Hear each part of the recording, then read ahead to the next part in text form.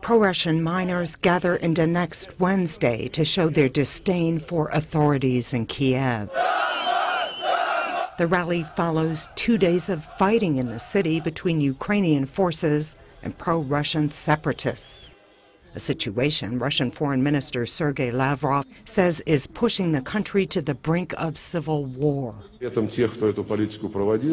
who pursued that policy were not at all concerned that the wedge that they try to drive between different branches of European civilization is being driven across the Ukrainian people, and in essence, that people are being pushed into the abyss of fratricidal war.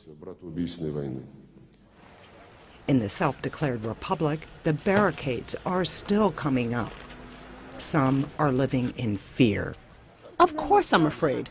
My parents called me last night and said they were in the basement because they heard the sounds of jets and shooting. We don't know who shoots or where they shoot. Nobody tells us anything, and we don't know anything.